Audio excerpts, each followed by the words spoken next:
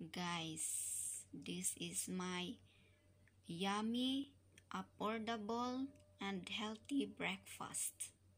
Of course, with coffee, guys.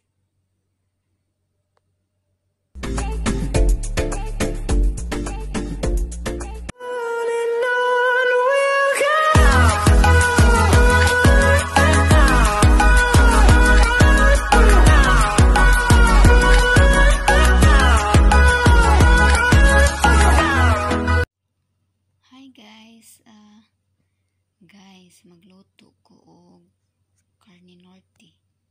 So, onion, akong gichop og pataas. Garlic, gusto ko og magluto ko kay daghan siya garlic. So, I make it four. Tapos gislice-slice na ko medyo gagmay-gagmay. Tapos of course, um, carne norte guys. I like chunk uh, carne norte guys. Tapos olive oil. So I use olive oil guys para healthy. Tapos I put egg on the carne norte guys. Pero I use organic egg.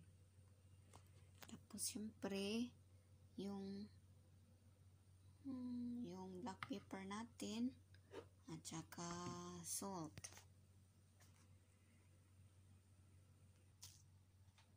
So, lagay muna natin to guys. Yung carne norte. Para mahalo siyang mabuti. Ito siya guys.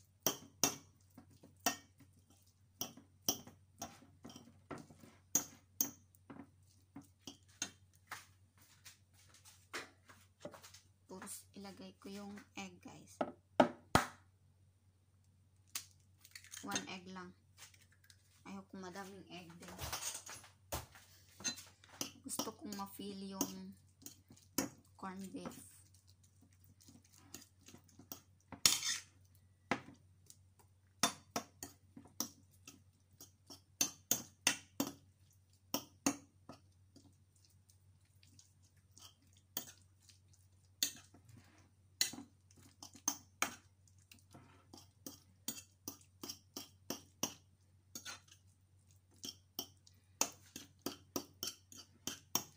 So, nahalo na siya, guys.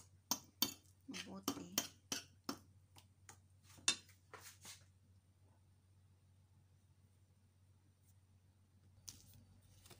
Lagay na natin yung oil, guys.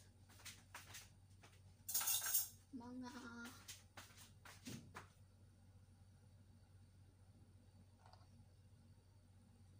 one spoon lang. Kasi hindi din mas maganda sa katawan kahit healthy yung ginagamit nating oil kung damihan. So, one lang. Tapos, mainit naman yung kawali, guys. Ang kalaha.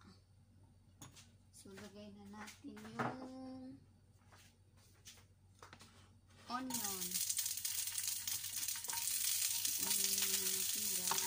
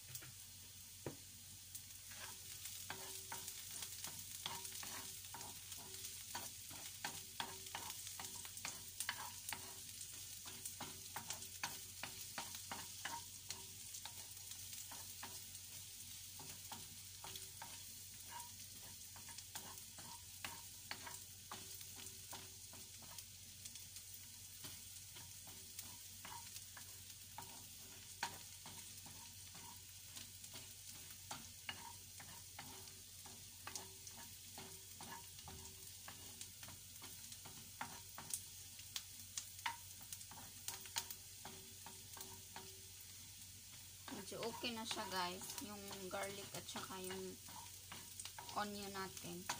So, ilagay na natin si corned beef at saka yung egg.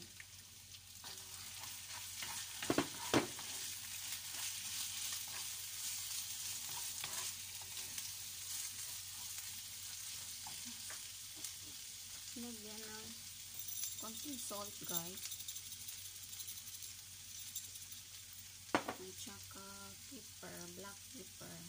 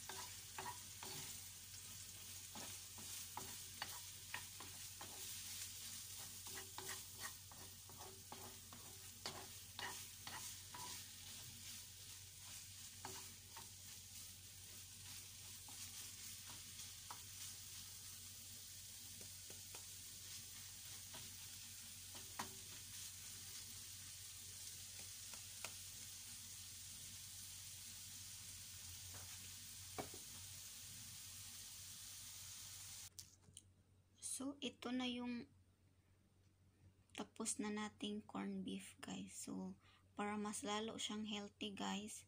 So, lagyan ninyo ng mga aside. Pwede yung fresh na tomato or fresh na cucumber. Pwede ring pickles na cucumber or kung anong pickles, yung carrot or assorted na something. Tapos, I like to eat with toast bread, guys. So, ito lang. So, pang breakfast ko to. With coffee. ah. coffee is life, guys. This one, my coffee. So,